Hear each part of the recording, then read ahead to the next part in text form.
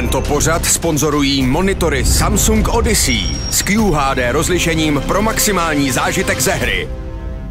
Samsung. Hey guys, uh, today from I Am Clone, uh, we can talk with Mopos from uh, Movistar Riders. Mopos, how are you doing?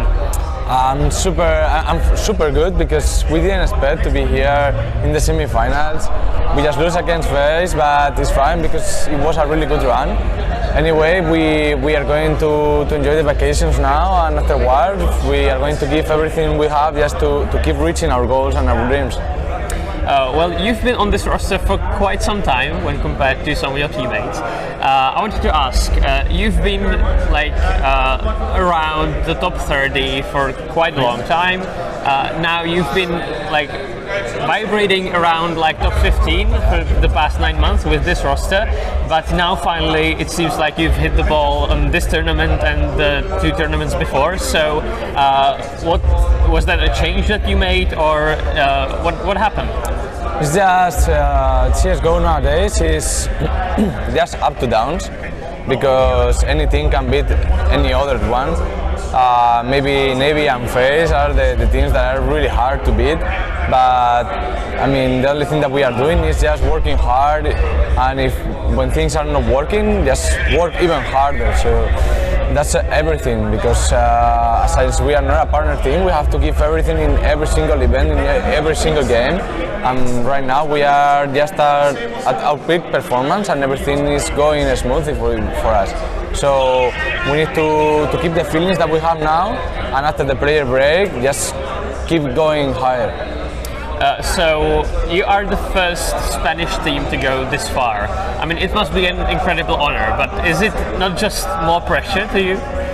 It's not pressure. It's, uh, as you said, it's, it's an honor for us because not only because we are reaching our, our dreams and our goals, it's because we are making the people that are from Spain just guys. You can you can keep fighting for your dreams. Everything that, that you dream can, can be true. So keep working hard, and you are going to, to be here someday. Uh, you've done some incredible stuff. Like uh, all the analysts were completely flabbergasted from what you've done on this tournament. So, is there a secret that you have? What what led to this, or did just everything go your way? No, everything just go on, on really good in our way. There is no, no a secret. The secret is the, the effort that we put inside the game. But if anyone knows the secret, please let, let me know for the future.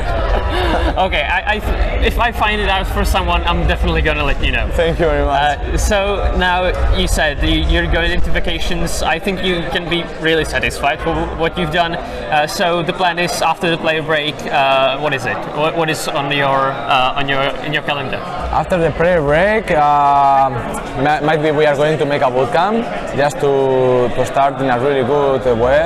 And I don't know, but if things are the way it should, with the points that we have right now on the world ranking, maybe we, we are going to be invited to Pro League. So uh, I hope that the, the next thing that we have is Pro League. If not, we are going to ESL Challenger.